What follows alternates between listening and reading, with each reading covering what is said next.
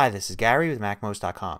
Today let's look at editing videos in the Photos app in iOS 8 using the iMovie extension. So here I am on my iPad Air and you can see I've got the iMovie app installed. So you need to do that first. Make sure you have that installed. And then instead of going to iMovie I'm going to go to Photos.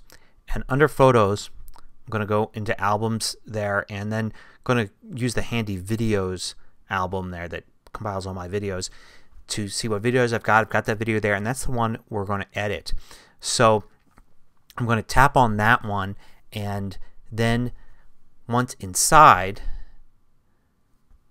there are there's a button at the top that you only see if you have iMovie installed or another app that extends photos uh, in the video editing area. So I'm going to tap on those three dots there and I've got there a button for more. I tap that more button and then I can switch on iMovie. Once I've switched on iMovie then I go back and you see that same menu now has iMovie in it. So now I can tap on iMovie and bring up the iMovie editor inside the Photos app. You can see it's a very simplified version of the iMovie interface with just a few controls at the bottom. So I can't do all the stuff I do in iMovie like putting clips together because I'm not putting clips together. I'm editing this one clip. So there's just a variety of things I can do to this single clip. I've got the timeline at the bottom and I can move around to different parts of the video and I could play it with the button on the left. I could also hit the first button here and then trim if I want. The next button it's really interesting because it adds filters. So this is definitely something you couldn't do before in just the Photos app. So I can use a filter there or select none. And then this is probably the best feature of the whole thing is being able to add titles.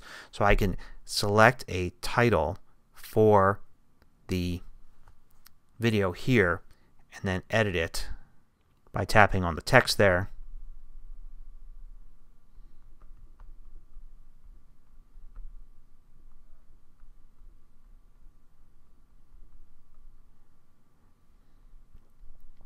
Now I've added my title and I've got all those choices there at the bottom. I can also add a soundtrack. So I can add some uh, theme music or select something from my collection if I want.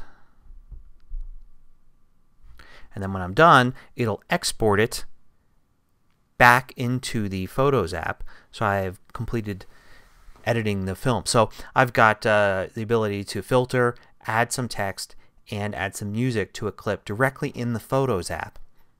So hopefully this is just the beginning of extensions for editing video in the Photos app. I can imagine all sorts of different video editing apps coming out that add extensions and allow you to do all sorts of things inside of the Photos app really quickly and easily just like this iMovie extension does.